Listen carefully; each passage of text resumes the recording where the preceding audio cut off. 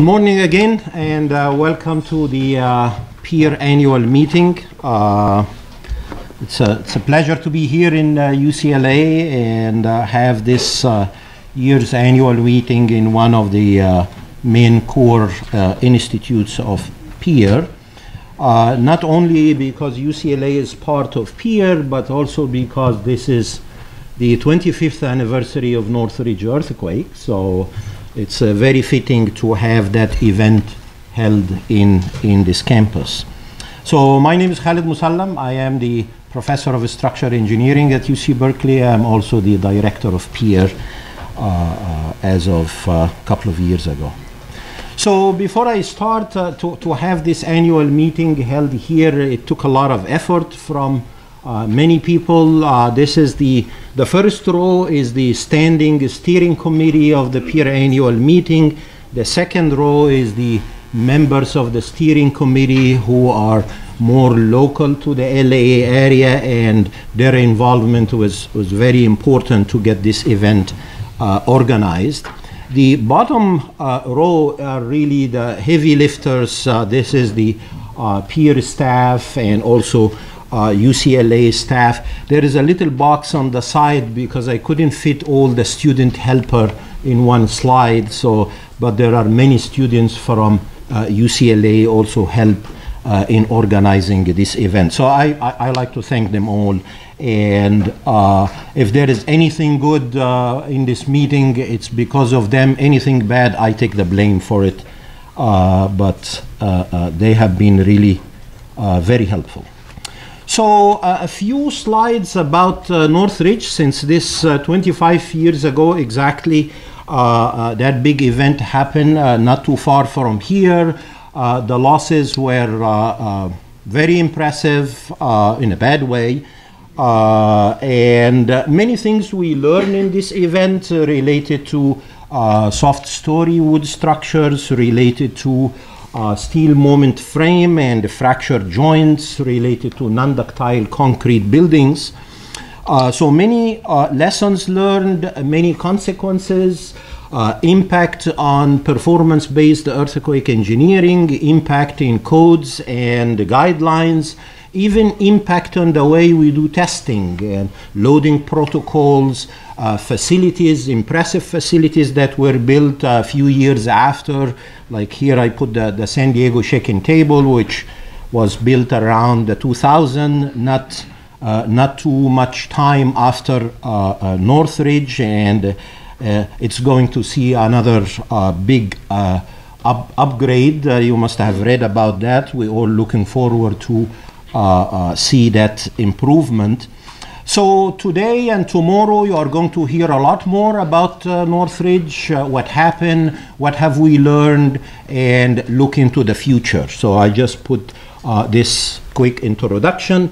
As far as uh, peer, uh, we can claim uh, peer had a big say in things that happen after that. Professor Moehle will will talk. Uh, in a little while, and I'm sure he's going to mention something about the older concrete buildings and the impact of that in the LA seismic safety law. Uh, so, recently in the news, uh, you must have read about uh, Shake Alert LA. Uh, so, hopefully, we will hear more about that uh, tomorrow in the City of LA Resiliency Panel. Uh, I'm not sure if this will be mentioned or not, but I thought uh, uh, to mention it uh, in my opening remarks. Um, so, so many things we learn about uh, from the, from this tragic event and its astronomical losses that we can reflect upon and and look at uh, how this changed our profession and our research. So now I turn to the main part of uh, my talk, which is to talk about peer. Uh, what is the current status? Uh, what is the vision and the mission and some of the strategic planning of peer? And a few highlights about what's currently going and uh, a brief look into uh, the future as well. So, as a little bit of history, uh, so PEER, as many of you know, uh, started uh, back in 1997, and it's it's the research arm of the state of California. It is the home of earthquake engineering research in Western United States. Uh, it had major impacts uh, nationally and internationally on research on the profession. And we do that by supporting research in transportation and lifeline, tall buildings, uh, ground motion, uh, technology uh, development, including uh, computational platform like OpenSees, uh, hybrid simulation platform like OpenFresco, uh, focused software like Bridge PBEE, uh, and also dissemination of all these results in the form of reports uh, that uh, are distributed uh, uh, worldwide and all in the public domain. Also, the support of the NICE library, which even predates PEER, supporting our undergraduate interns, our graduate student researchers. So, a few glimpses of the last year. Uh, the PEER NICE uh, library of PEER is repeated here in the title. So uh, at the moment it has about 10,000 uh, users and members. The, the e-library users from Google Analytics is, is very strong, a lot of interest in our collection of text, images, and software. Uh, so this is um, have been a good year for the library. Uh, in terms of technical reports, we continue uh, supporting uh, the editing with, and with all your effort in the great research you do and the great editing of Claire Johnson, who's somewhere here. Uh, we maintain a very high standard in these reports and uh, we continue uh, producing them with an average of about 15 reports per year, which is very impressive considering these are thesis size uh, reports. So that's uh, a pretty big productivity uh, in that regard.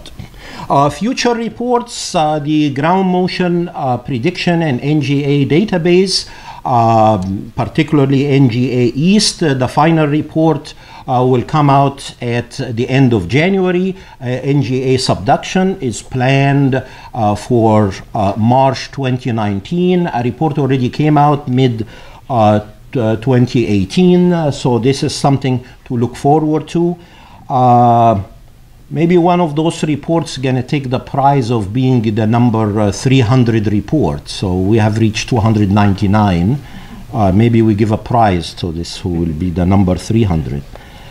Um, a few highlights about events that uh, took place uh, with the support of PEER staff and also the support of uh, many of the researchers involved. The uh, Haywired workshop in January, uh, Haywired scenario uh, press conference that took place in April.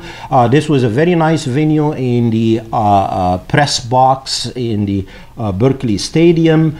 PEER is, is part of the um, uh, haywired uh, coalition. Uh, we think uh, that scenario, even though it's a single scenario, it's it's a way of digging deeper uh, through research to shorten uh, the region's recovery time, which has which is directly related to uh, resiliency of our communities.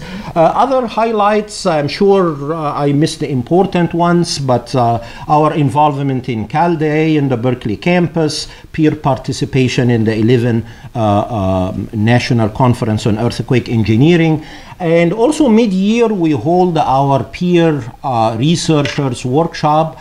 this is more of uh, exchanging research idea, more of discussion. So uh, last year in August, uh, we had that uh, important event in Richmond Field Station. It was very successful for researchers to know what their colleagues are doing and try to streamline uh, some of the activities. We also work with other entities like this workshop that was with MTS. Uh, focused on uh, hybrid simulation. Uh, was also a successful event that uh, as you know, hybrid simulation is something important. For many years, uh, uh within PEER and, uh, uh, and its several core institutions who have interest in that type of research. Uh, PEER website, you may have seen that, uh, have got uh, um, a makeover um, back in July. it's part now of the Berkeley Drupal platform. That gives us a lot of bells and whistles, a lot of support, many of the things that uh, uh, we don't need to deal with related to security, accessibility, maintenance, um, automatic features that get rolled into uh, uh, Uh, uh, all sites, including the uh, uh PEER site. so that has been useful. when you develop a, um, or revamp a website that's stagnant for many years, there is always glitches. So if you identify any glitch, please let us know. There may be some broken links and things like that. we, we try to iron them as we hear about them. Uh, but if you find anything, please let us know.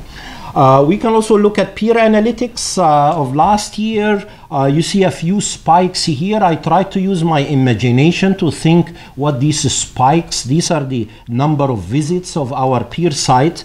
And uh, I was happy to find some correlation uh, with our events when we had the MTS PEER hybrid uh, simulation workshop. There was a big spike there. Uh, when we had the haywired scenario, we had a big spike there. When we had the PEER researchers workshop and the PHI-Net challenge, which I'll talk about at the end, and also when we had the, the TSRP request for proposal release, is not as big as I thought it would be. Uh, maybe people are not interested in funding anymore, but uh, uh, or maybe this is because it's a it's a smaller group who can apply for these uh, grants, which are only uh, PEER researchers.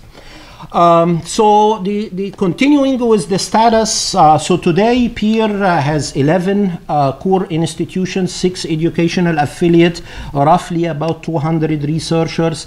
Uh, these researchers span a variety of expertise uh, from geohazards, building and bridge uh, systems, network system, experimental and analytical techniques, new technologies. And with this powerhouse, uh, we are poised to really go after uh, activities that uh, uh, guarantee to some extent resilient design for extreme event. This is what uh, we are uh, pushing for in the coming few years and also in a few years past. So just to remind ourselves, you may have seen this slide before, these are our core members. Uh, our educational affiliate. Uh, our mission is still revolve around integrated performance-based uh, engineering. Uh, focused uh, towards uh, resilient design in the face of extreme event. Why resiliency is important? Uh, it's, it's an obvious uh, answer to an important question because mitigation, which is part of having a resilient community, uh, pays off. And many studies have shown this is at least five to one. It could be six to one in some cases. Uh, so if you spend a dollar, you can actually get five dollars in return. Um, not only in reducing losses and downtime, but also reducing human suffering, which is something you cannot put a price on. And this five to one doesn't include that. So uh, a few more things about the, the status of uh, uh, the era we live in. Uh, it's, it's, uh, it's an era where we have lots of data that are affordable, uh, that come from affordable sensors, uh, lots of tools in high performance computing, lots of tools in artificial intelligence that have already seen uh, their applications or, or, or uh, um, uh, in areas like structure health monitoring, uh, city scale simulation, physics based ground motion modeling, and PEER recognizes that uh, far reaching potential of these uh, tools.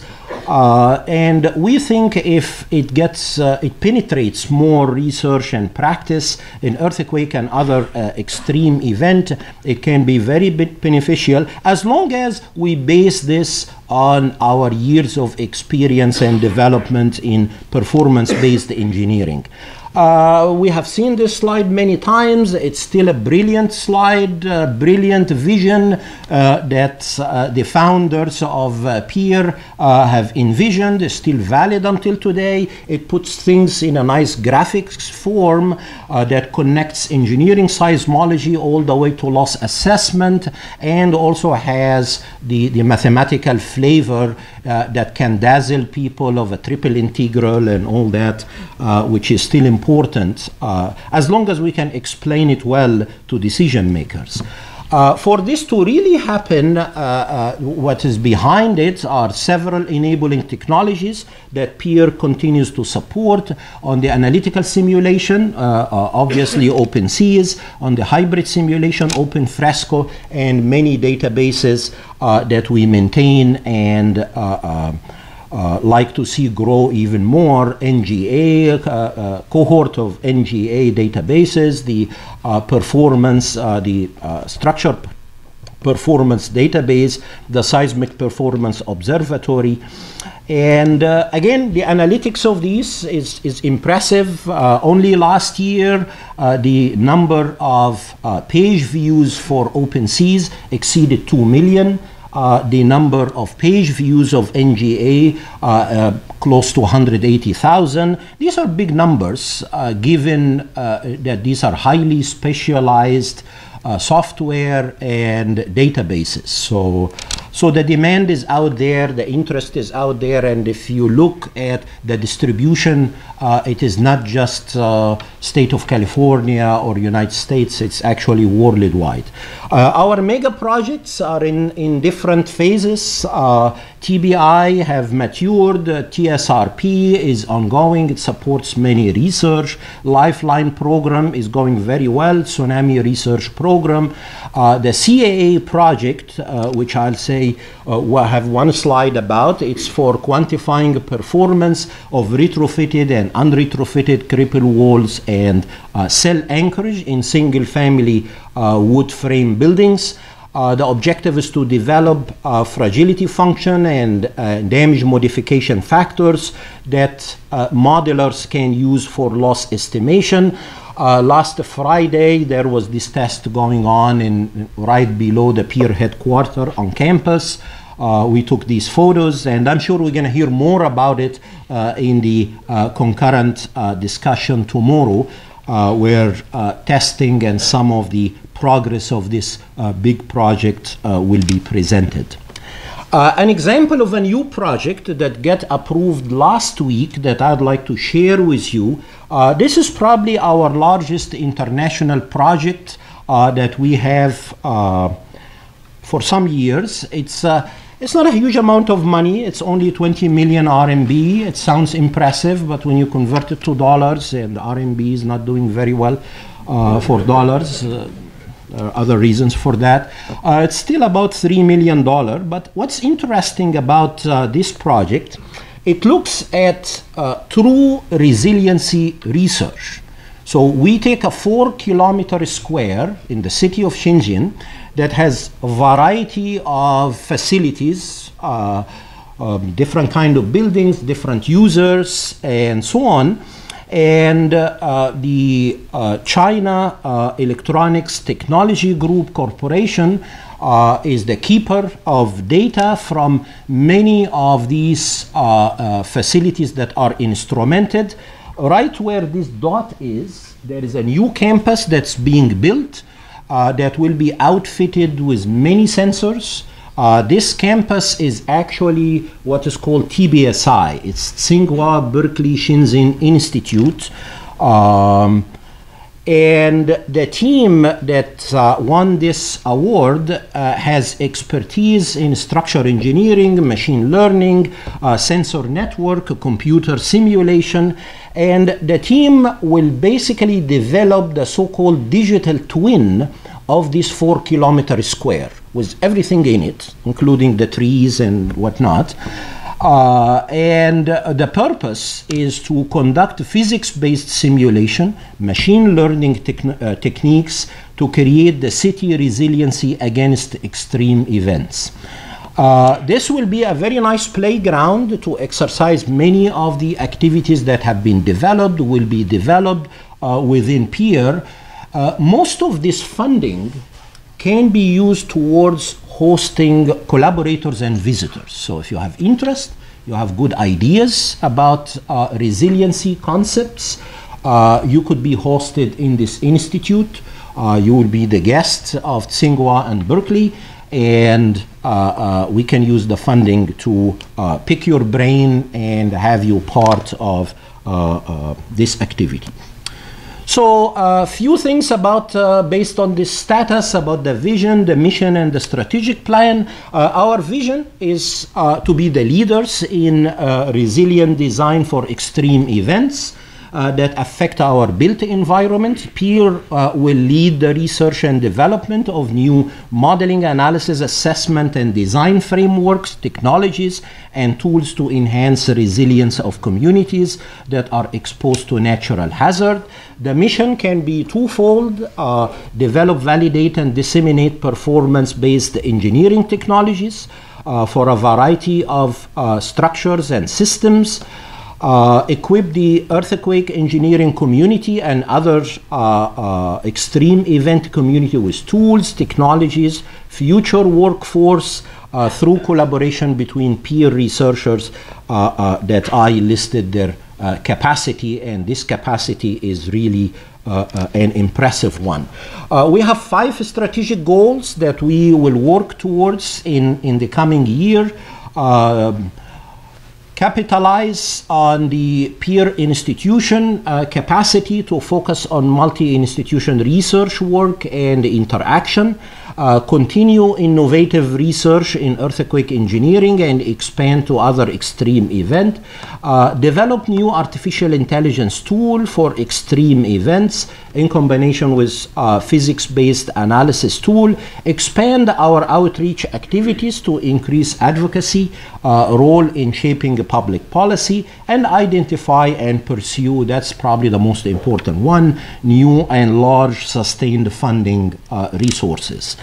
Uh, our committee structure uh, that uh, we will be contacting you unless you take the first initiative and contact us and let us know uh, uh, which committee you like to be part of. Of course, some of this already exists. Our institutional board uh, help us in setting the policy and the guidance of how to run the center. Our research committee set the vision and goals of how funding should be distributed. But two very important committees that we would like your input on and your participation in is industry advisory board to identify what are really the important problems we should work on uh, uh, uh, that are of interest to the engineering community.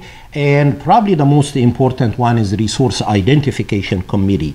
Uh, so uh, uh, we will build, we, we, are not building on vacuum, we will build in our uh, friends in our business and industry partnership program.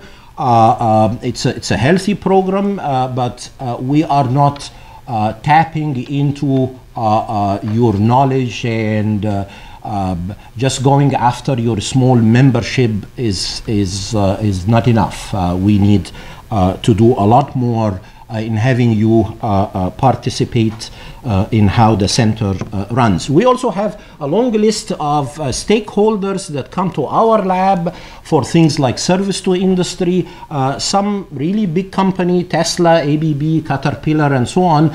Um, if, if I list also the users of other labs and the uh, um, other peer campuses, uh, the list will be very long, but the interest is definitely out there. Uh, labs do not only do service to industry, we, we continue doing our research, uh, we continue our outreach to uh, um, uh, high schools and junior colleges and, and, and so on. A few quick highlights. new projects. Um, Many things uh, now in PEER have reached a steady state. Uh, they're going to be happening no matter what. For example, um, put on your calendar September 12 is the day we will be releasing our request for proposal. It's always going to be September 12, unless it's a weekend. Uh, So that's, uh, that's one thing. Uh, these are uh, requests for proposal with the focus of uh, reducing impacts of earthquakes on transportation systems. Um, this year or in the 2018 request for proposal, we get about 50 proposals uh, covering 18 of the 19 topics identified in the RFP that span all the activities I mentioned um, uh, um, that, that, that um, correlate well with the expertise that, that we have in the center and each proposal received three independent reviews. Uh, this year, uh, 11 proposals are funded uh, was for a total of about $800,000. You can see the, the complete list on this site. It's also in our peer news. Uh, this is in addition to uh, ongoing 23 projects. Eight of them are finishing uh, um, or are have been completed uh, by 2018. Uh, you will hear more about them uh, during the concurrent sessions. Some new things, I mentioned OpenSees, the group in Oregon have been active in converting Tcl to uh, to interface to use Python, and there is some uh, improvement on that. Uh, Python 3, a few more functionalities um, including uh, this in the uh, Jupyter uh, notebook is about to be released in Design Safe.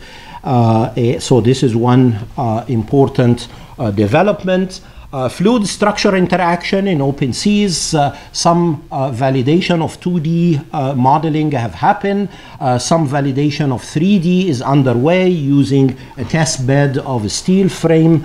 Uh, um, uh, that is subjected to wave uh, wave loading in a, in a flume that's in Oregon State.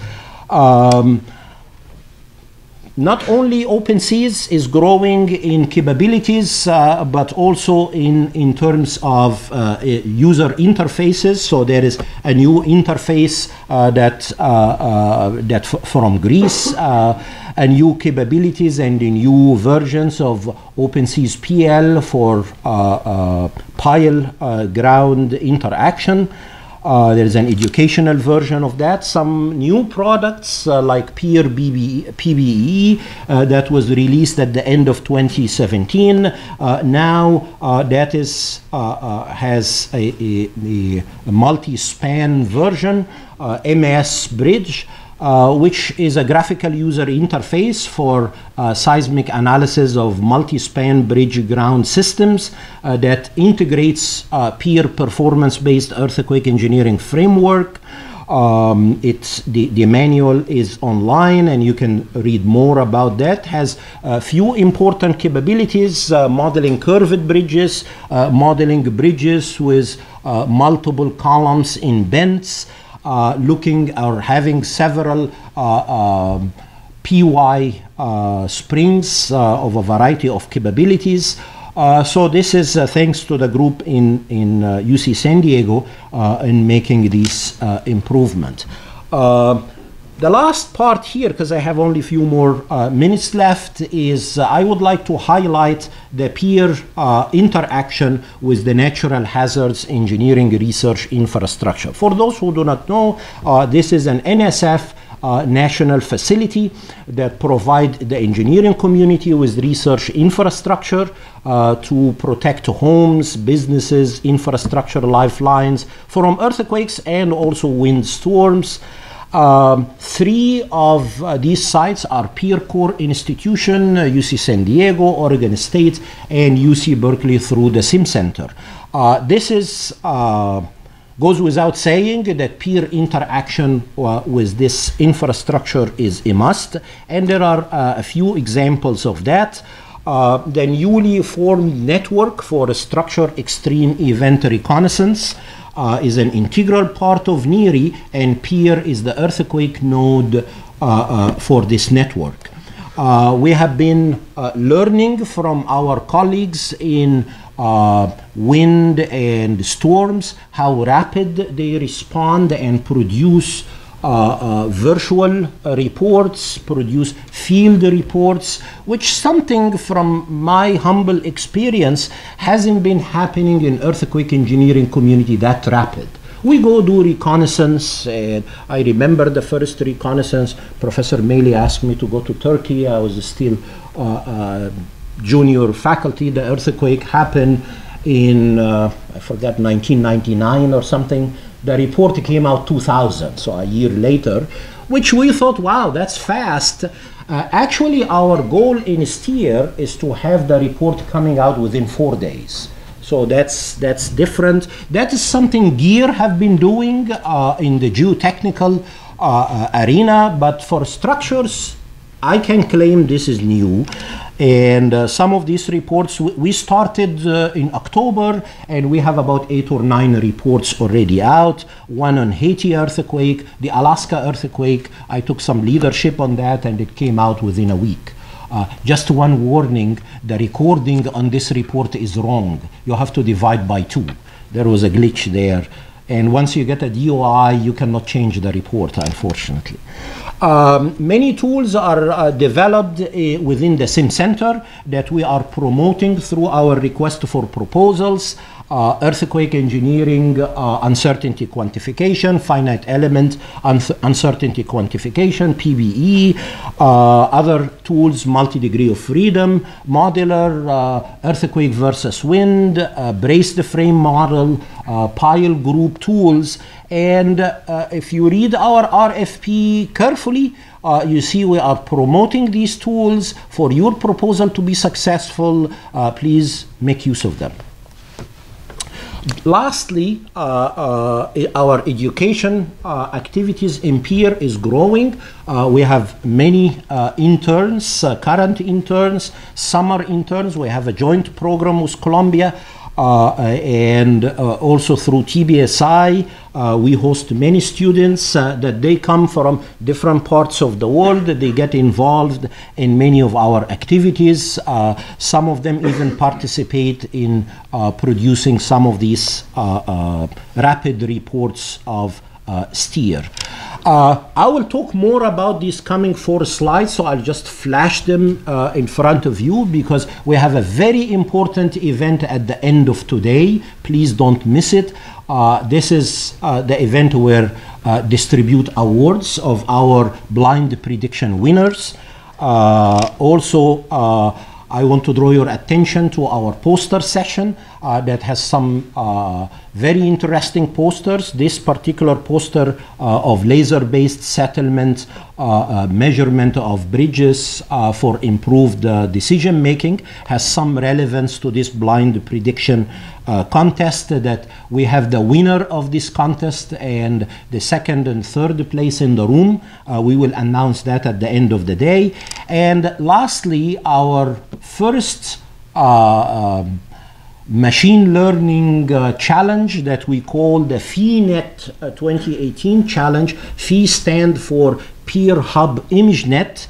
Uh, was incredibly successful. Uh, th that's the least I can say about it. Uh, when we have 68 teams uh, worldwide participating, more than uh, 200 uh, researchers involved to try to identify damage from photos, uh, that's a great participation. And we also have the two winners in the room we will announce that and they will receive their trophies, which they will look like this, uh, very nicely designed uh, trophies. Uh, one for the engineering group uh, and the other is for the computer scientist uh, group. Uh, and finally, I wish you an enjoyable PEER annual meeting and we will move on to the next presentation. So this, I'll, I'll moderate this session. In this session, we have three talks uh, that focus on Northridge.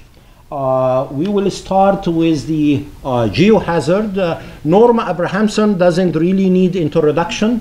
Uh, so I'm gonna spare uh, the long introduction so we can listen to him. Uh, so he will tell us about the uh, things related to ground motion. The next talk will talk about structures, and then we will end up with the big picture of resiliency and lessons learned from uh, Northridge. North.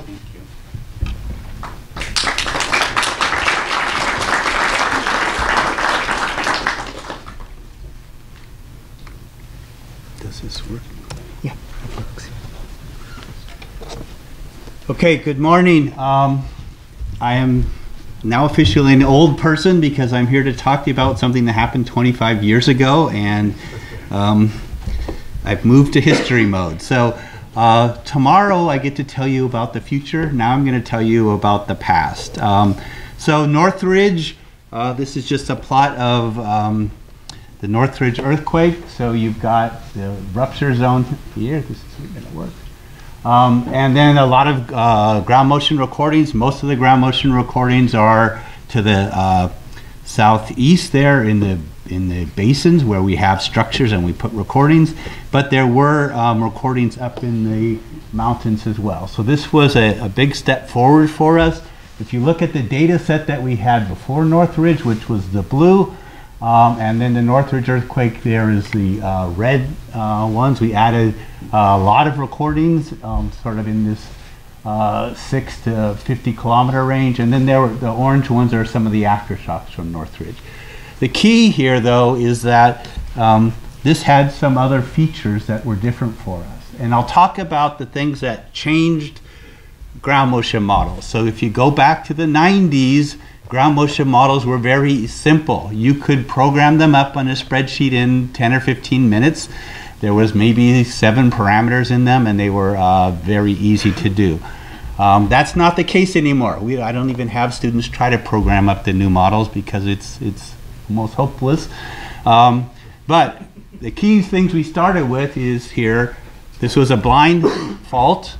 Okay, it's a, and we had a buried rupture, and we didn't really know how to deal with that in the ground motion models. They had no parameter for that. They had magnitude and distance, and they had a style of faulting, whether it was reverse or strike slip, and they would also have a soil category, right? So we put things into classes of, of deep soils, and we put them into soft soil, which we didn't deal with, and everything else we called rock. Okay, so you need to keep that sort of in mind as to what we were doing. Other key things that happened were hanging wall effects. We didn't have these at all in our ground motion models. This turned out to be a huge limitation of what was there before. Um, also, we started to see large variations in the ground motion of what we thought were short distances. Stations a few kilometers apart are completely different in their ground motion amplitude.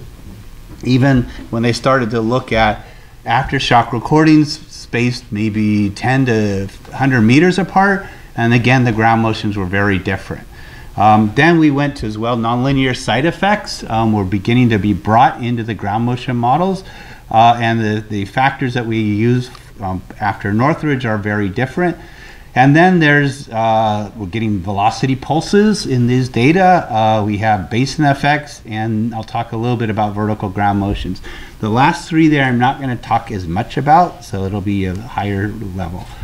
So if you went to Northridge and you said, what do we do first thing in those days? We plot up the peak acceleration versus distance and we compare our curves to them. And you'd say, all right, on average, these things were 50% higher than what our model said it should be. So why is that? And so we go, well, it's a buried fault. We haven't had those before. Is that was the cause? Or was it because it was actually on a blind fault that doesn't reach to the surface? So um, the idea being there's higher stress drops um, from those types of earthquakes. Or the other parameter we had in our models to tweak was a style of faulting factor. That is, is reverse earthquakes stronger compared to strike slip than we had thought in the past. Okay, so then when we start to look at what's happening now, our models uh, that we use now, almost all of them will include some sort of depth scaling. Um, uh, they scale either on the top of the rupture or the hypocentral depth. Uh, two of the NGA uh, West 2 models don't have depth scaling terms in them. There is, however, a trade-off between the depth scaling and, and the style of faulting terms.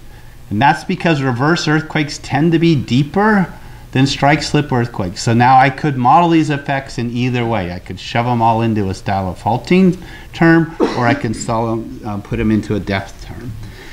If you look at how these models look like now, a depth scaling term, this is typical of uh, what we use.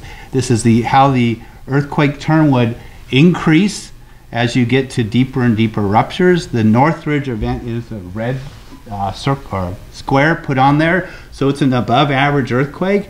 In our current models, we'd only account for about half of that above average ground motion due to the depth, and the other half would be something else, okay, uh, uh, sort of a random behavior here. But as we get deeper and deeper earthquakes, we get bigger factors. So these factors are 0.7 on this scale here is a factor of 2 in ground motion. So we're going to start to get big differences in how the ground motion scale. The other thing about this is once we start to say earthquakes that are deeper are more energetic, we get to a problem or an issue that putting the rupture at the closest point to your site doesn't always lead to the largest ground motions.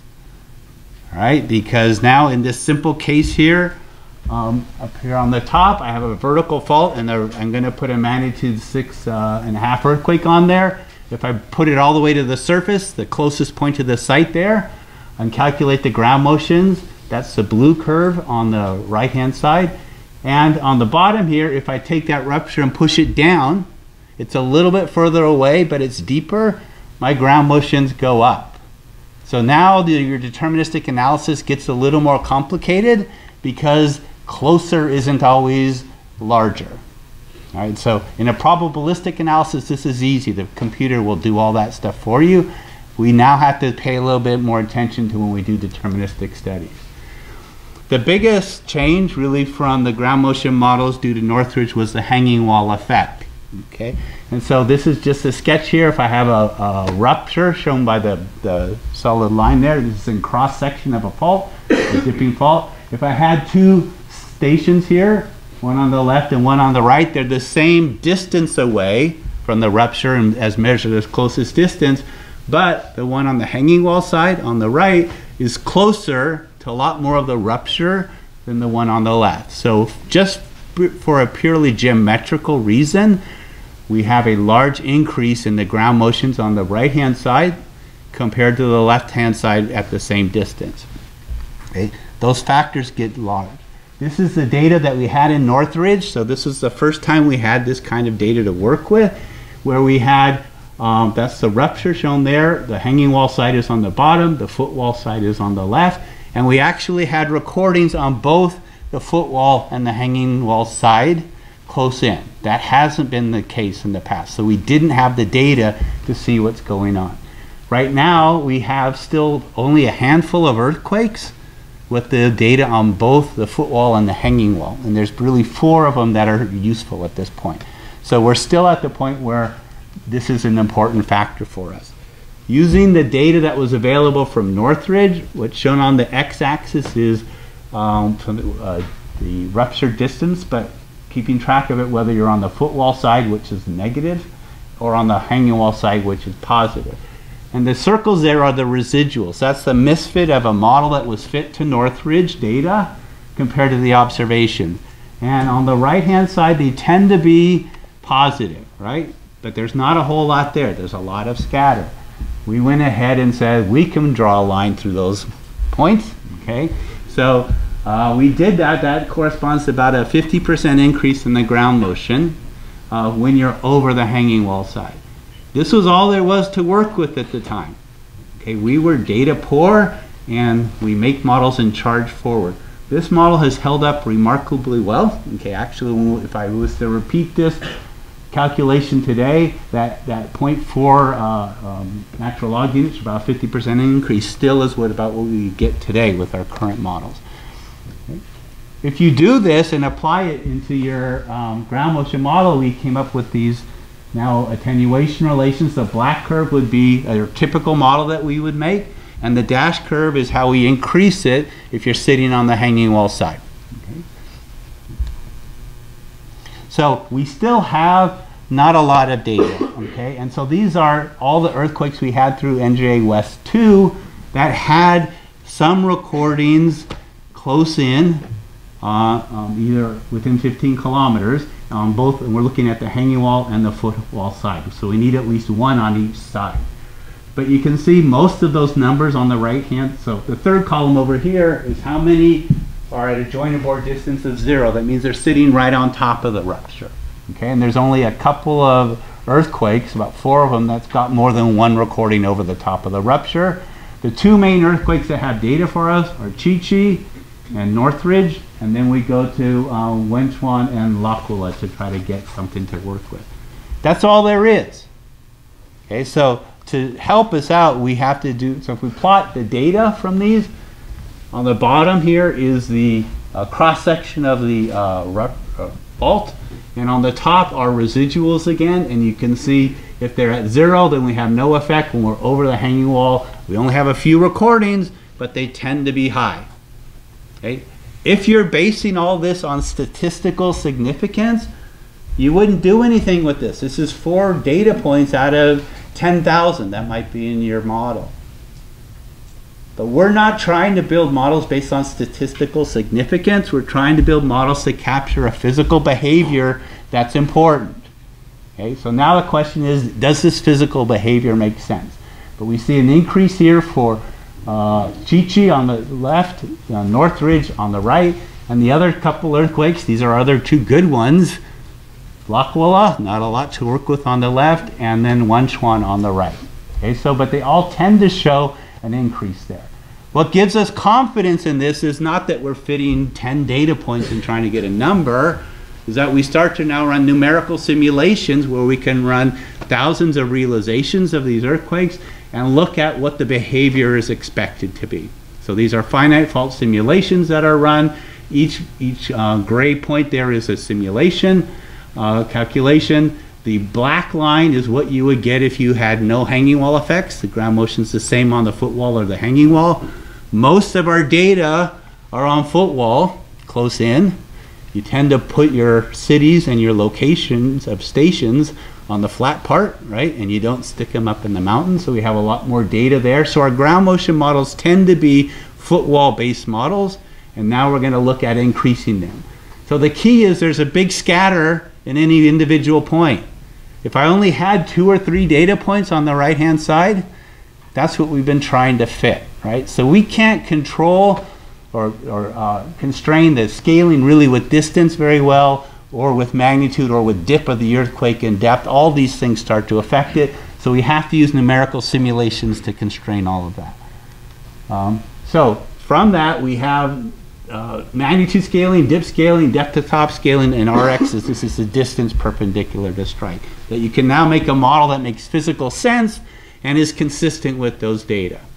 As you start to put that model in, the ground motion models are no longer a simple seven parameters that you can code up in a little bit. They're starting to get more complicated as we try to impose physical behavior into effectively polynomials, right? How many polynomials do you need to match this numerical simulation behavior. Another issue at, for, um, from Northridge was some big recordings, particularly Tarzana, one of our really large recordings. So we're up to about 5G spectral acceleration there in the middle of the period range. At the time, the black line was a median model we've been using, and the 84th percentile is the dash line, and we're way above that. Right? So this is a really big ground motion. And people spend a lot of time sort of looking at this one and trying to understand it. Um, uh, this is from Paul Spudich. Several, there's several studies that were trying to look at this. He's looking over here on the right-hand side. TAR is Tarzana. Um, it's here's the rock, and it's going into the uh, sediments there. And there's nearby stations V10 and then ENL. So these are a few kilometers apart. However, the differences in the ground motions are large. So if we look at these ground motions here, the plotted up seismograms, they don't look so different. The three verticals, the three east-west, and the three north-south. But to do that, he had to multiply V10 by 3 and ELN by 6 to make them look similar. Okay, so there's a huge increase in this compared to what you get a few kilometers away. They went further and looked at the Tarzana station, which is the black dot here, and it's on a little topographic feature. And then during, for aftershocks, they put out all of these stations shown by the open circles and started to see tremendous variability in the ground motion over tens to hundreds of meters. Okay, so we um, they worked out seismological reasons for why this happens, what's happening in some detailed basin, shallow basin structure here, or geologic structure. You can find that out afterwards, but we don't know this ahead of time.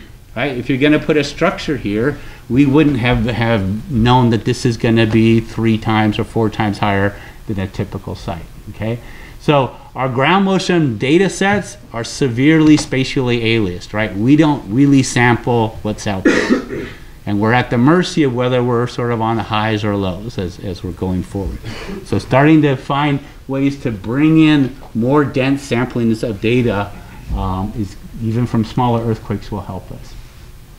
Another issue for Northridge was basin effects. I'm not going to talk much about this. The seismology community spends a lot of time on now doing, uh, taking these kinds of data, building 3D or 2D or 3D geologic crustal models, uh, calculating the response uh, using analytical wave propagation, and then comparing that to the data. So then there's large effects that they can say a particular station is going to be high for an earthquake in this one spot. If the earthquake is in a different spot, you can get a very different distribution of the highs and lows. So it's complicated. When we build this into empirical models, we had to simplify that tremendously. Okay, and we simplified it to simple scale factors based on basin depth. That was the thing that, that at least a first order could distinguish between a soil site that is a shallow soil site or a soil site that's in a deep alluvial basin.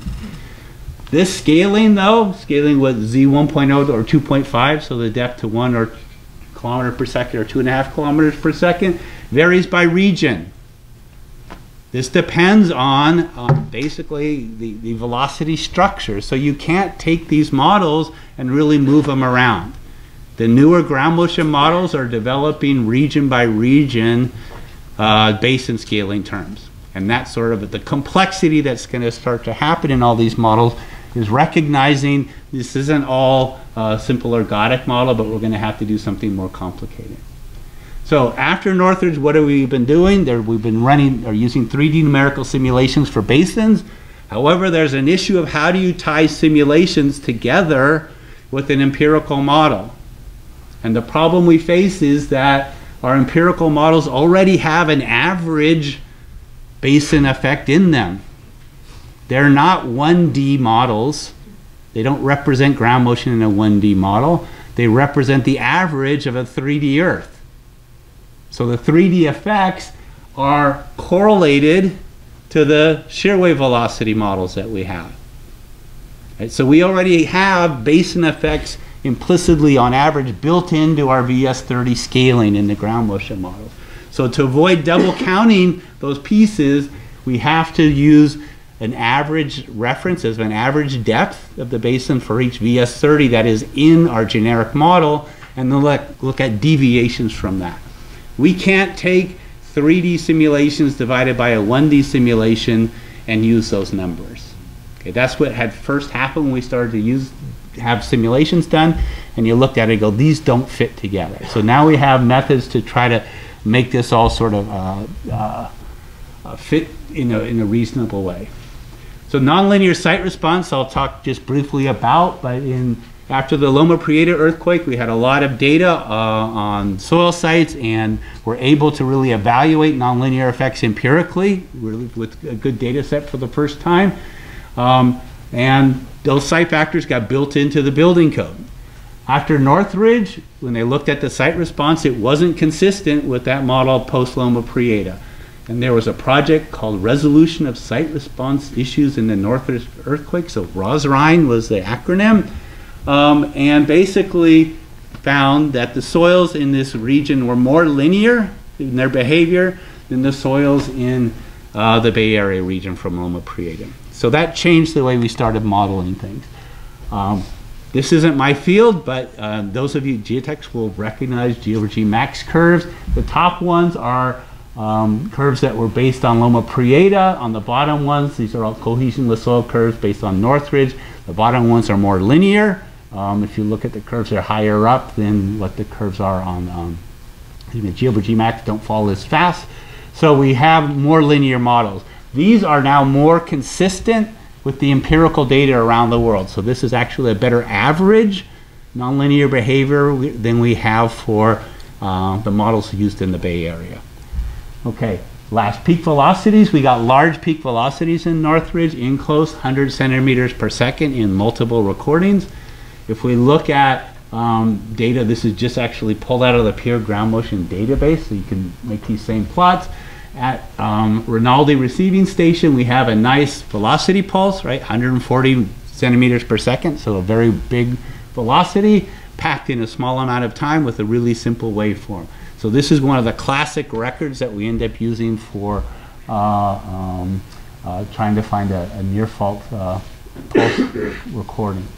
Verticals, um, right after the earthquake, uh, we, there was reports coming up, oh, we have several recordings over 1G vertical. And what does that mean? And there was uh, talk about, oh, was, uh, was damage here related to the verticals instead of related to the horizontals because the verticals were high. Really, they're high, the verticals are large, but the horizontals are larger. Okay, and so this isn't a case of large verticals, it's a case of large horizontals. If we look at the horizontal to vertical ratio from Northridge, this is data within 15 kilometers. You look at this, and this is a typical looking V over H ratio shape. It comes in at peaks just below 0.1 second, it has a trough, and then comes across. So it's not verticals were big or unusual, you just had a large horizontal of that, uh, which they went with. So what are we trying to deal with going forward? Um, depth scaling, that's now part of ground motion models, and I think that's here to stay. That will tie more with seismology as they start to look at stress drops of earthquakes, and we can make this a more physical process. Hanging wall scaling is really important. It's a factor up to a factor of two in the short period ground motions when you're close into faults. Uh, we tend to put our dams where we have topography, which is from faults, so they're almost always sitting on top of our, our hanging wall. Uh, basin factors are now again becoming common.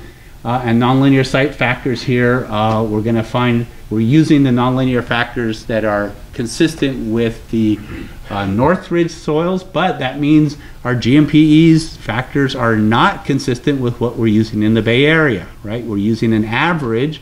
We're not using a model that's uh, um, optimized for the Bay Area. So again, the regional factors are closer to the Northridge earthquake. Okay, tomorrow I get to tell you something new as opposed to something old. All right, so thank you.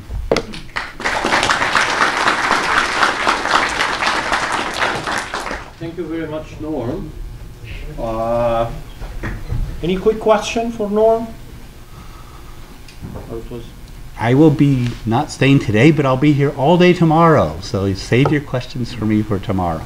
Okay, you can right. save the question for tomorrow then. Right. He's giving another talk tomorrow. Give more tomorrow. Thanks.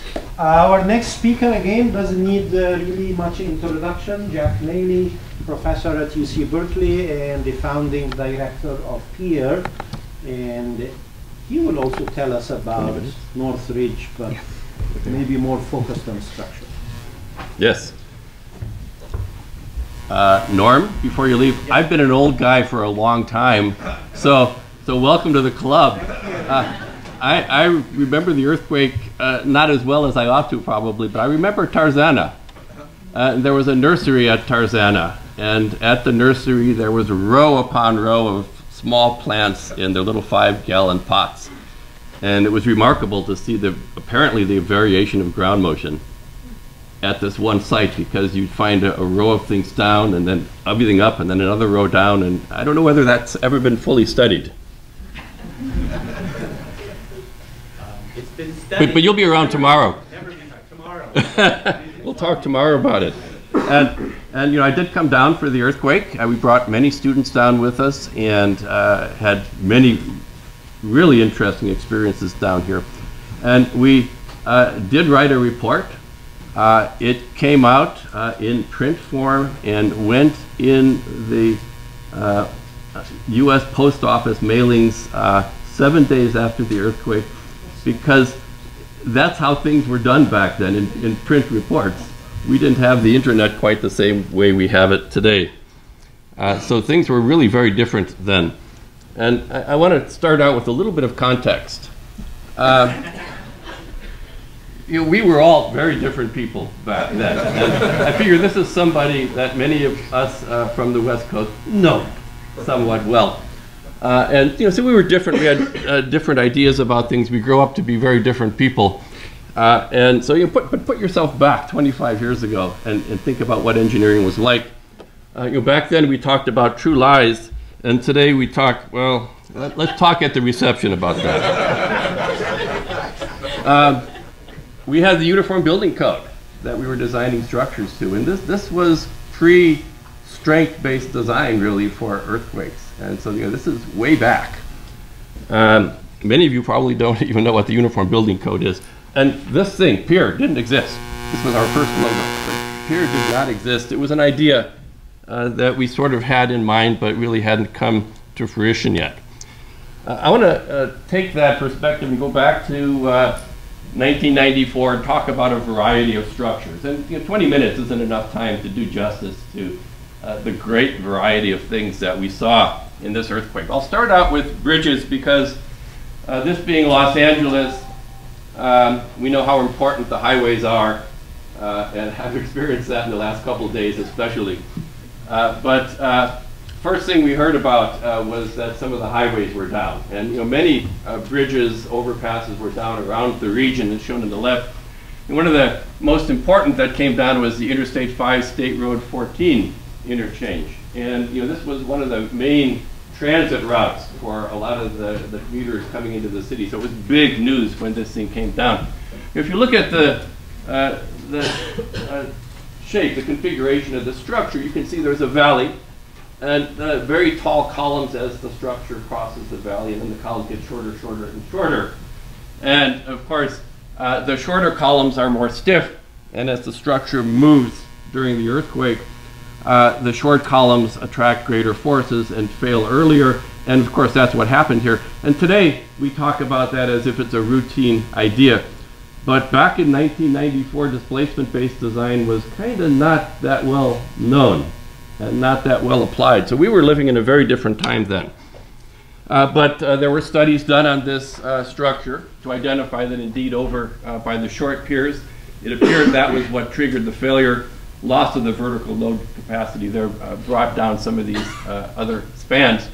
And you know, we learned a lot from this about different stiffness, you know, unbalanced bridge structures, a lot about uh, how hinge restrainers work or how they don't work when they're not completely fully implemented uh, as occurred in some of the cases here.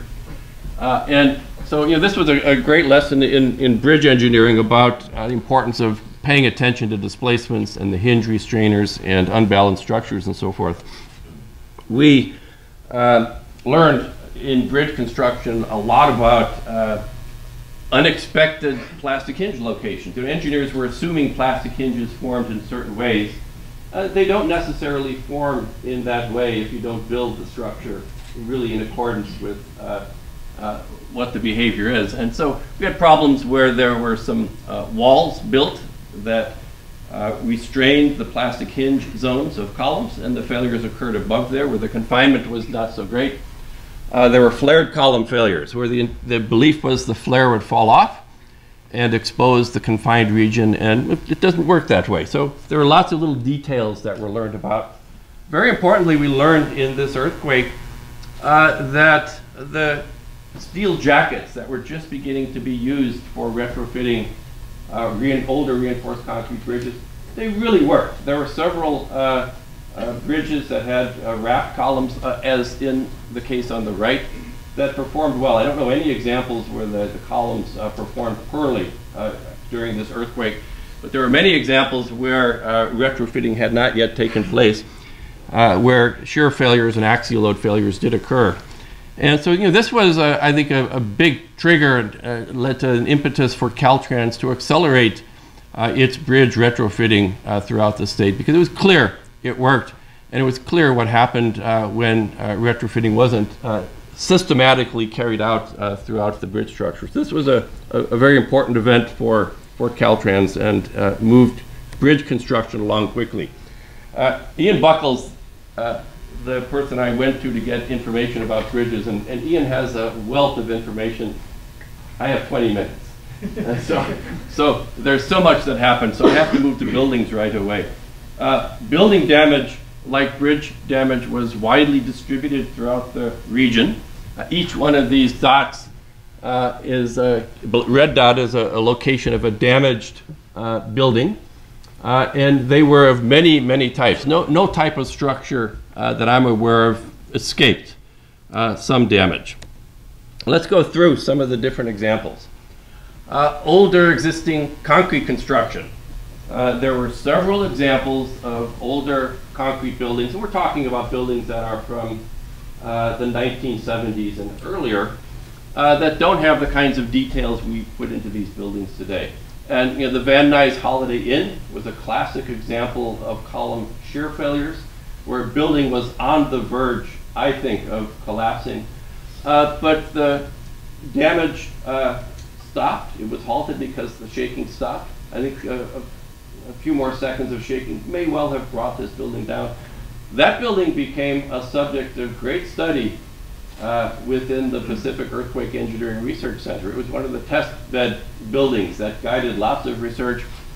Um, this building on the right uh, sustained some column failures, but also beam column joint failures. And uh, the occurrence of these failures resulted in the Pacific Earthquake Engineering Research Center putting a main focus on buildings and a main focus on older non-ductile concrete buildings. And that eventually led to many, many things. Uh, models that are now in OpenSees for uh, representing these kinds of behaviors through shear failure to axial collapse. Uh, these models are now uh, implemented in various documents that structural engineers are using. Uh, ASCE 41, FEMA 178 just came out. Uh, ordinances in, in, many of our cities now are beginning to look at these kinds of buildings. And I think uh, the Northridge earthquake had a lot to do with spurring on those studies. Uh, concrete gravity framing was covered in our building codes at the time, uh, but it was covered very lightly, and uh, practicing engineers uh, didn't uniformly address the provisions that were in the building code. It was not uncommon for uh, in, a structure like this for the gravity framing design to be done back on the East Coast somewhere, and the seismic framing design to be done on the West Coast, and the gravity framing was incompatible. Uh, a result of this uh, type of damage, which occurred over and over again in uh, especially parking structures, was that the building code provisions were updated to focus more clearly on the requirements for gravity framing columns and engineers began to more carefully implement those uh, requirements in their building designs. And so that was a, a major change in practice for buildings. Uh, concrete diaphragms suffered lots of damage and contributed to the collapse of some buildings, especially if we had uh, precast uh, diaphragms, uh, precast uh, top diaphragms. this is one example where the seismic force resisting system did great. Uh, in fact, hardly a crack could be found in the shear walls that uh, provided the lateral bracing for the building, but the diaphragms fell apart. And uh, when the diaphragms come apart, of course, you, you lose the ability to transfer the forces uh, through the system. Uh, and you know, this changed uh, design practice in the United States because it put a new attention on the importance of designing diaphragms properly uh, provisions today in our building code, uh, you know, in the ACI uh, building code, we have a complete chapter on diaphragms and several pages uh, in the seismic chapter addressing how to detail each of these. And several projects uh, have now been carried out to understand what the real research requirements are for these kinds of elements. And you know, one of the reasons we have a problem with diaphragms in the US is because we have so few and widely spaced vertical elements. But we'll come back to that.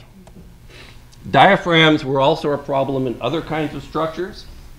Uh, we don't talk much about uh, these today, but uh, looking back at my notes, uh, we had failures in over 200 tilt-up buildings uh, where there are stiff perimeter walls and very flexible wood diaphragms. And failure of the connections occurred in over 200 of these buildings.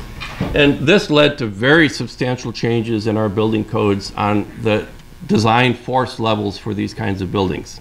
Very important change that came about. Wood frame construction. Uh, it was common to think that wood frame construction was safe. We didn't have to worry too much about it. There was a good history with these buildings. Uh, but Northridge showed us something a little different. Uh, 24 out of 25 casualties in this earthquake were caused by uh, building damage in wood frame construction. Uh, more than uh, half of the $40 billion in property damage uh, was in these buildings. And functionality, uh, you're probably way ahead of me reading this already, so I don't need to go into that. This led to a series of projects uh, that were carried out uh, throughout the United States, projects still underway today, uh, funded, by the California Earthquake Authority to understand the design requirements for these kinds of structures. And there's lots of guidance now available and many programs underway. Uh, types of structures uh, that are wood framed that we're familiar with. Uh, the uh, structures, multi-family units that have uh, tuck under parking or other soft stories. Several collapse examples occurred there. There are now programs in uh, some of our cities to address those directly. hillside homes suffered many failures. We now have much improved guidance on how to address these structures. Uh, and we'd always known about unbraced uh, or unbolted cripple walls. And it, they uh, continued through this earthquake, and they continue today to be a, a source of, of damage, uh, not usually casualties.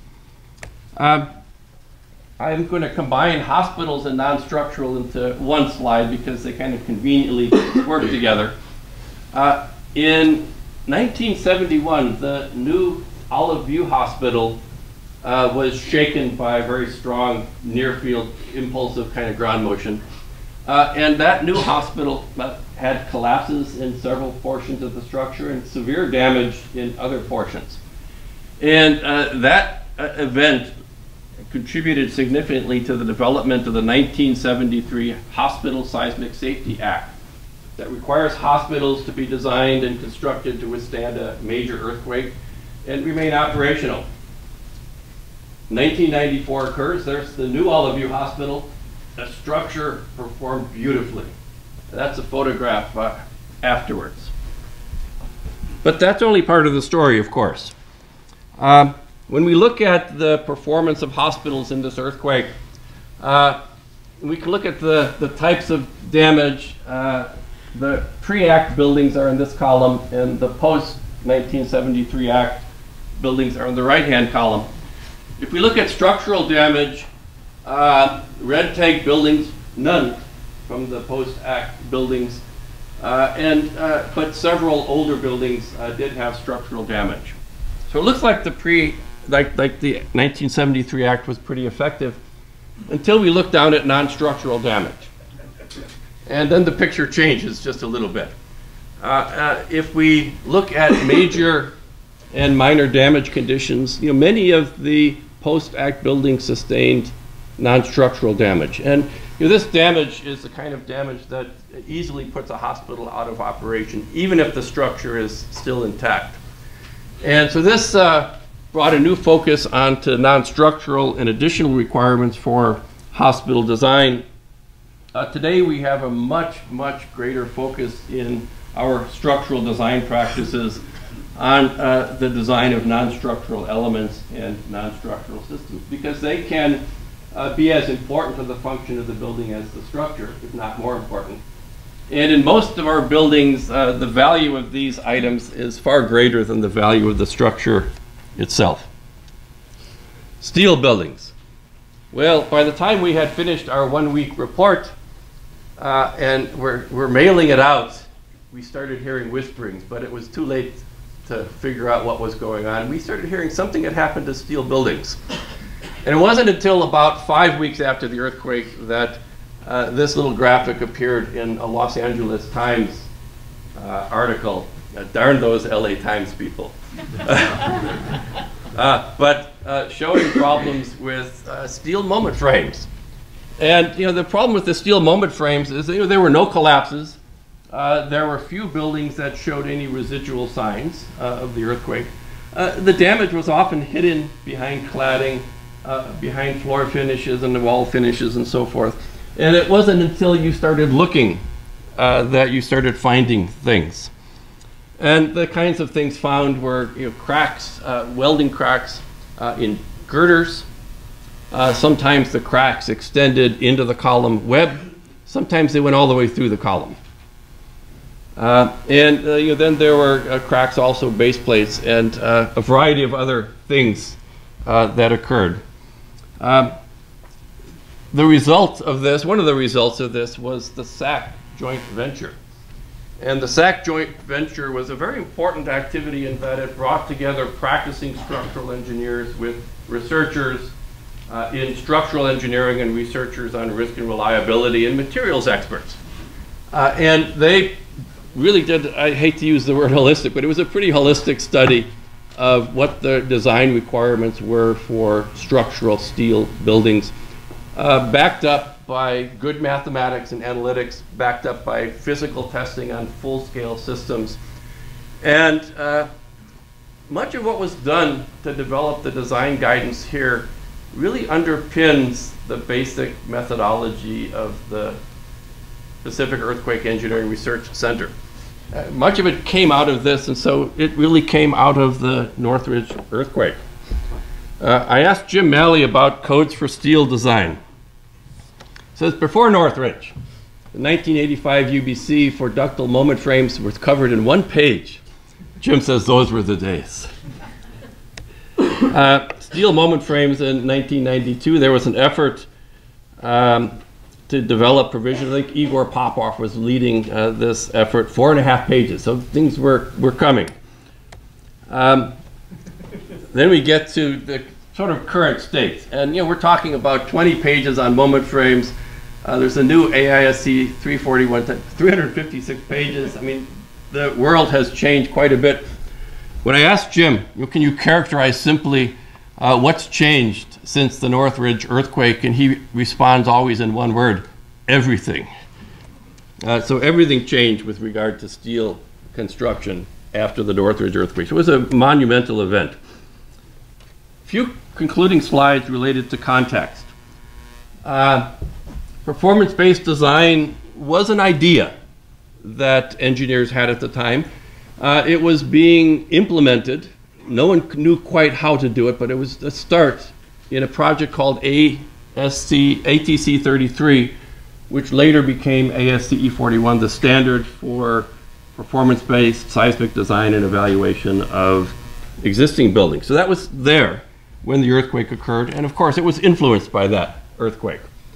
Uh, performance-based design for new buildings, uh, there was a effort by FEMA to develop an action plan. It was at that time through the Earthquake Engineering Research Center at Berkeley, and we were having our workshop one week after the earthquake uh, when I first heard those whispers.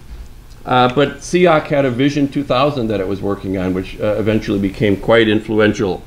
Uh, was, but again, influenced very strongly by what happened during the earthquake. Uh, the SEAOC Seismology Committee was working to convert the UBC to a strength basis at that time. And it was intended to be kind of a little tweak here and there, not too much going on. Uh, that changed quite a bit. And AISC was struggling with this dual certified steel and, and how to do capacity designs properly with this thing. Ask Jim Malley about that. Uh, what happened in some of these activities after the earthquake? Well, the scope of the UBC conversion changed dramatically. One of the things we observed after the earthquake is that a lot of the damage that occurred in buildings occurred because the seismic framing was concentrated in relatively few elements. And this led to uh, uh, larger forces in diaphragms, uh, larger elements, many other things happened. Uh, the UBC introduced for the first time a redundancy factor because of this earthquake. Uh, in tilt-up buildings, uh, the diaphragm forces changed dramatically. We got uh, near fault effects into the seismic design uh, provisions. Uh, spectral shape changed. Minimum base shear was changed in the code because of this earthquake. Uh, and there were prohibitions introduced to restrict certain kinds of irregularities that were in buildings. the FEMA SAC project, I've talked a little bit about already, but you know, this introduced in many ways the methodology that PEER now uses today uh, in its uh, performance-based approaches. And then in terms of performance-based design, Uh, it was very strongly influenced by the observations from the Northridge earthquake in terms of uh, kinds of damage, ways of assessing and upgrading building codes and the like. Uh, Vision 2000 was finished. It was very influential in, in guiding uh, development of these kinds of documents. ATC 33 was finished. FEMA P695, a method for estimating R factor or determining R factors in the codes. Uh, this really uh, all contributed to PEER's focus on performance-based design. Uh, the ATC 58 project really fell out of what PEER developed as its methodology. And the TBI guidelines, and, and this will go on and on. I think the impact uh, from Pier uh, will be felt for another generation, and I hope it's still remembered uh, way beyond that. I was around for the Northridge earthquake, but it's 25 years ago, and I'm one of these old guys. I don't remember everything, so I went to friends who are experts in the, in the field, uh, who contributed a lot to the ideas and the topics that I presented. so my, my thanks to them, and thanks for your attention.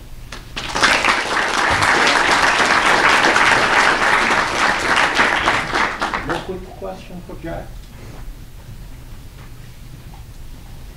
I'll comment. Um, you know, I started practicing structural engineering in 1998.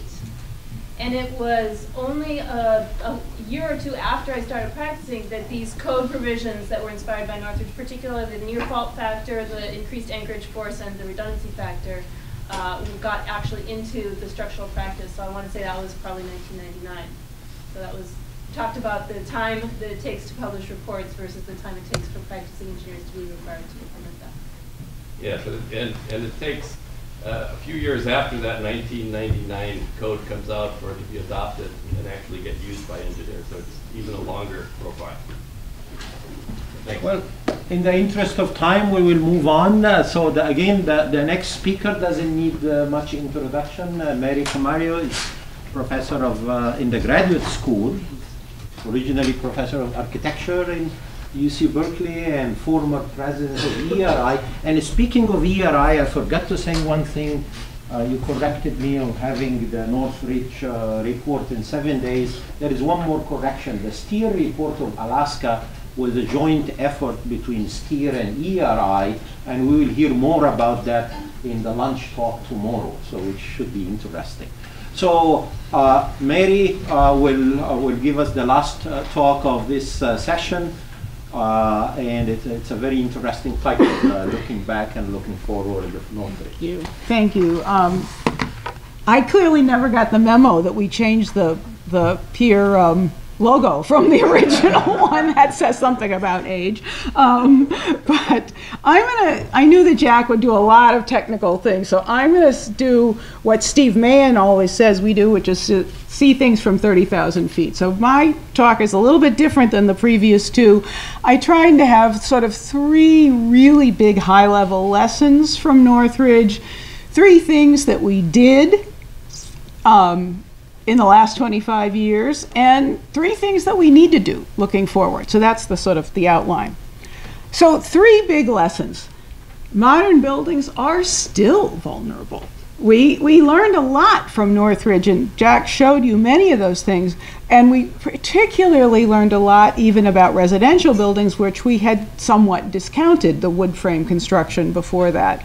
But even we're still learning from this, and I think this is a really important lesson. I mean, the, the recent events in New Zealand, particularly Kaikoura, and the losses in Wellington in um, precast concrete floors and brand new buildings that are now all being demolished is pretty shocking for us um, in this community. And I think we have to be humble enough to recognize that we are still going to be learning from these things um, in future earthquakes, and we really need to be vigilant. Uh, the second really important lesson from Northridge, in addition to being surprised by the damage in wood frame, was just how significantly housing damage was undercounted sort of systematically um, and across the board in past earthquakes. Um, and really has a tendency to continue to be undercounted. And I think it's important because these, this chart on the top is the, you know, what we knew about tagging maybe I don't know, a couple of weeks after the earthquake. The problem is the tag colors change over time, and the building department doesn't track if there was a building that started out as a red tag and became green tag or started out as a yellow and became red. We, we don't know those things. So, in fact, we really don't know what the actual, you know, we don't know what we saw and what we didn't see, and we don't know them by address. So, we really don't know what we saw and didn't see. And we realize when we look at things like insurance claims on residential buildings, well, we counted something like, um, you know, these were units, 300,000, you know, multifamily units, but and and 64,000 sort of single family homes, but we had almost 300,000 FEMA grants to homes. We had almost 200,000 insurance claims worth $12.5 billion. Guess what? We never looked at all that residential damage after the earthquake. We never counted it. And to this day, we have no idea what the real numbers were for Northridge. Jack Boatwright and I have, from USGS, recently sadly passed away, have spent more time than anyone ever wants to think about trying to figure out these numbers. And we just don't know, is the answer. And the same was true on multifamily. And I think that going forward, it tells us, you know, we had to pay a lot more attention. It was also the very first time that we actually geospatially mapped that damage and we coordinated it with social science data. We never had sort of economic um, issues oh, and, and social issues overlaid before. It was a, at the, you know, at the, in Pasadena where we were, all the data was being collected. It was the first time we were making those kinds of integrated maps. So the third lesson from Northridge is that Northridge, you know, we thought it was a big event for us, but it was not the big one.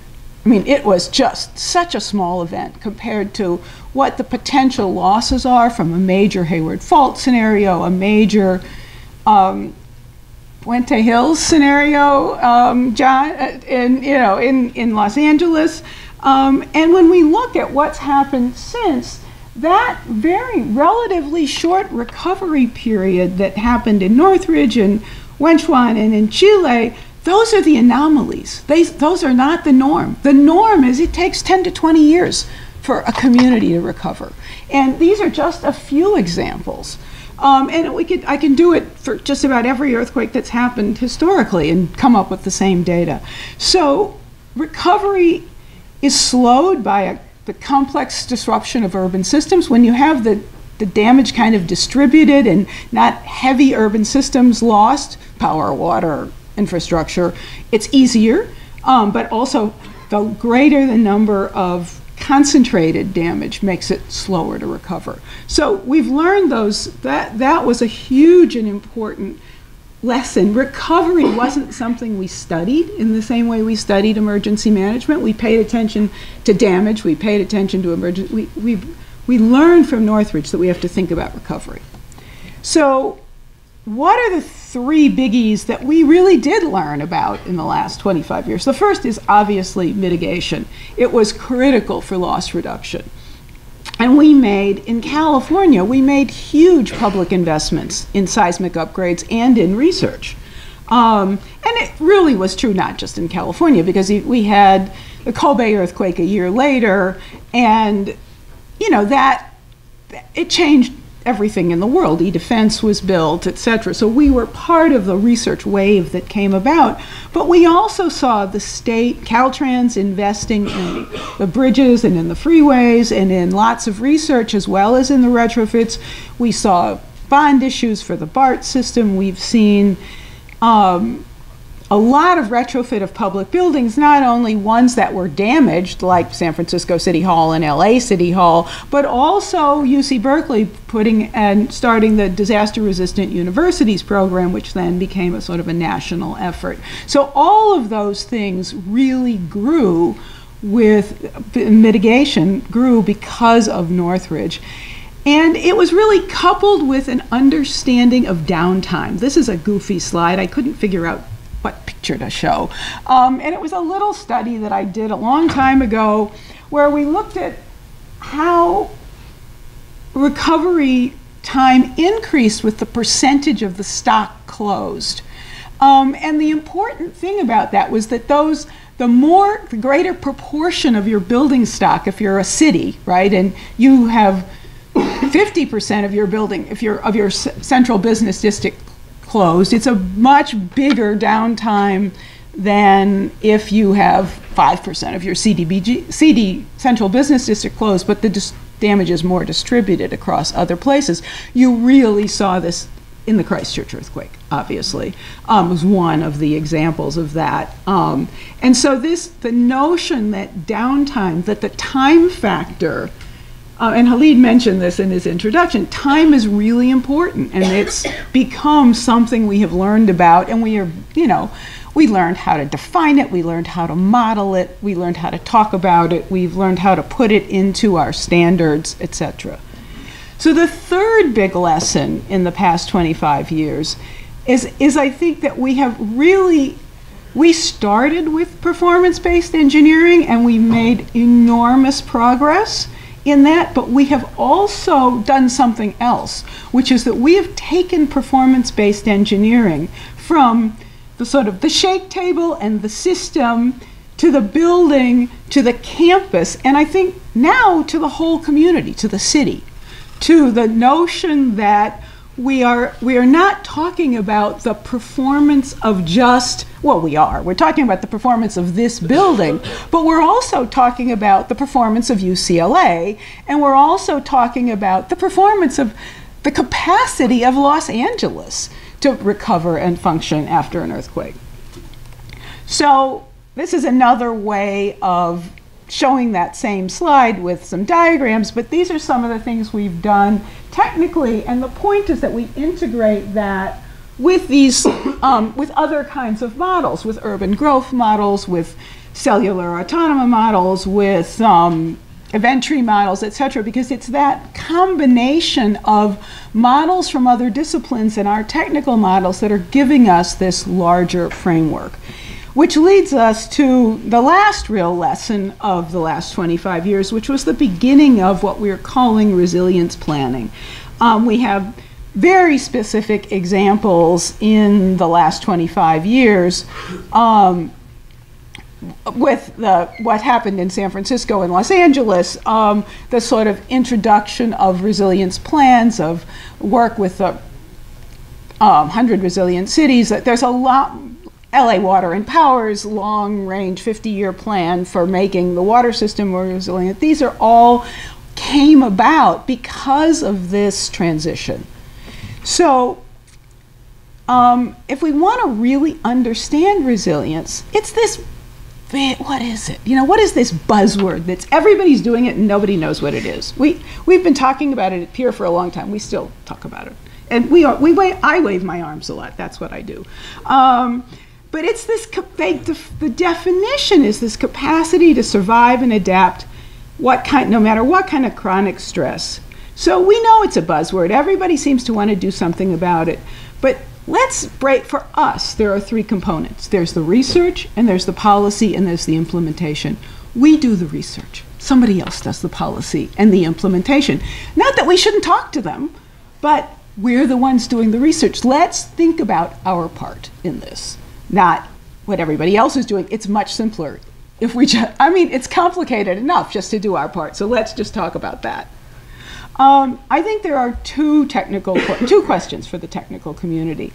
How do we evaluate performance of a whole building and design and and the building and the design for infrastructure systems, both existing and new, and for buildings, both existing and new, to significantly reduce losses in order to simplify and shorten recovery time. This is a change. This means structural and non-structural systems. This means the whole building functioning, not ceiling tiles down and us not able to have class in here. This means the water actually still comes on, the power still comes on. How do we model the interdependencies, which is an even harder problem, among the systems to reflect long term performance? I think these are our research questions for the 25 years going forward. And this is Greg Deierlein's slide. We, there was a, a NIST workshop and a Greg and I had to sat on the steering committee, which worked us way too hard. Um, for um, a, a, study that said what would it take for us to do residential and commercial buildings to um, to a immediate occupancy standard. And you know, of course, this is about limiting loss and reducing. Um, but we can't have resilience one building at a time, one bridge at a time, even one city at a time. If we want to be resilient in California, if we want our economy to do well, we have to think more broadly. So for us, can we devise resilience metrics? You know, is that possible? Can we model dynamic vulnerability over time different how, how buildings grow and change over time what do we know about those these are both this is some work from Christ after Christchurch with Ken Elwood. This is some work from David Lallemant, who at Stanford, is now in Singapore. Um, I think there's some really interesting work going on in New Zealand, um, looking at both why this sort of larger systems and functions matter. They have um, a project called Smart Seismic Cities, and it's really trying to look at the technical components, but but linked with all of this, the um, community actors, really linked, really deeply integrated with the city, the business owners, the building owners, um, people who are real stakeholders who have a part. And they're really, it is about trying to not just imp improve that building code, but to make sure that the community and the city functions. And that's going to require some hard thinking about how do you do new construction and what do you do with older buildings and which ones do you retrofit and which ones do you just buy insurance for? Um, similarly, I have another project on the Alpine Fault looking at all of the interdependencies and the infrastructure. And, I, and they're getting again the state the true stakeholder participation and data sharing, et cetera. I'm down to my last slide, or two slides. Um, so that is, I think that's a model for thinking about how we go forward. I, I see that in the, in the goal that Khalid put up this morning, but I think you need more on the, in your, I would put a third bullet point up there about this, all this interdependencies work. That would be my recommendation. The infrastructure matters because of this interdependence. We can't, you know, we're, we're going to function on the, we're going to do with the physical part, but all those physical things, the energy, the communication, the dams, um, the, the, all those pieces we design link to our food and agriculture, to our government, to our banking, to our information technology. So we need them to be to work together. And for Norm and for all of you guys in the geotech side and the seismology and geotech side, we have got to figure out how to get this good data into land use planning. We really have, land use planning has punted since Northridge. Nothing has happened in planning very much. And that's a shame. We really have to start to think about parcel based data. And it's not going to be easy, clearly. It's technically difficult. But it is how we're going to start to get real risk information into the public sphere. So, the last slide what, a, what we should be focusing on is safe and functional physical environments. This is our three part kind of exercise and where I think our framework for resilience should be. The parts about equity and social and ecological re responsibility, about policy implementation, we shouldn't be ignoring them, but we should understand that we have colleagues in other fields who are going to really focus on these issues, and we need to talk to them and coordinate with them, but we do not need to do all their other parts. So when we think about resilience, let's focus on the part that we can have some input into. And with that, I think we have a lot to do in the next 25 years. Thank you. Thank you, Mary. Uh, any quick one for Mary? Comment? Well, thank you. Uh, according to schedule, we are 20 minutes behind the schedule. Uh, that's time for break, but we are not going to shorten the break. Maybe make it 25 minutes instead of 30, because in the next session we are missing uh, one talk uh, because of the government shutdown. Uh, 800 from USGS cannot join us. So we have a less uh, talk. I mean, uh, John is going to moderate this uh, session.